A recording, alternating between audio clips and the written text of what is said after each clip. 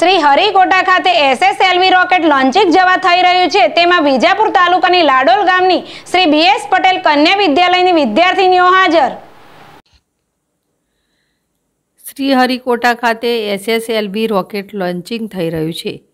ત્યારે દેશની સાતસો પચાસ વિદ્યાર્થીઓમાં લાડોલની શ્રી બી એસ કન્યા વિદ્યાલયની વિદ્યાર્થીઓનો પણ સમાવેશ થતાં ચેન્નઈ ખાતે રોકેટ લોન્ચિંગના સમયે ઉપસ્થિત રહેતા તાલુકાનું ગૌરવ વધાર્યું છે.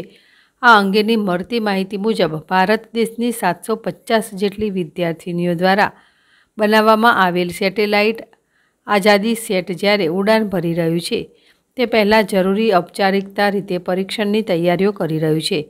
ત્યારે શ્રીહરિકોટા ખાતે લોન્ચિંગ માટે કાઉન્ટડાઉન શરૂ કરવામાં આવ્યું છે, ત્યારે તેઓએ તૈયાર કરેલું સેટેલાઇટ રોકેટ લોન્ચિંગ લાડોલની તન્વી પટેલ તેમજ તેમની ટીમ પણ ઉપસ્થિત રહી.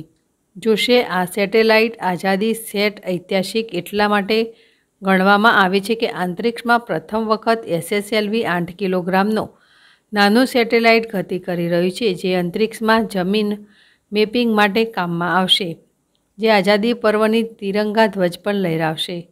રવિવારના છોડવામાં આવેલ સેટેલાઇટમાં સેલ્ફી કેમેરા લગાવવામાં આવેલ છે.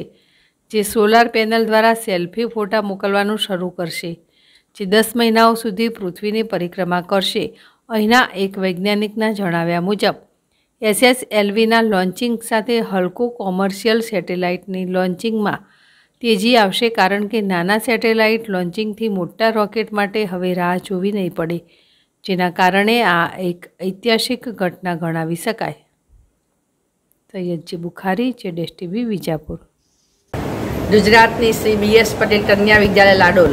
અત્યારે હાલ ચેન્નઈમાં આવી પહોંચી છે અને કાલે સી હરિટોટા ખાતે જ્યારે સ્પેસ ટીસ ઇન્ડિયાનો આઝાદી સેટનું મોટરવાનું છે ત્યારે ઇસરો દ્વારા મોટરવાનું છે ત્યારે અમારી કન્યા વિદ્યાલયની હાજરી છે. અમે ગર્વ છે કે જ્યારે સ્પેસ શટલની કામગીરી ચાલશે, એ અમારી તમામ દીકરીઓ સાથે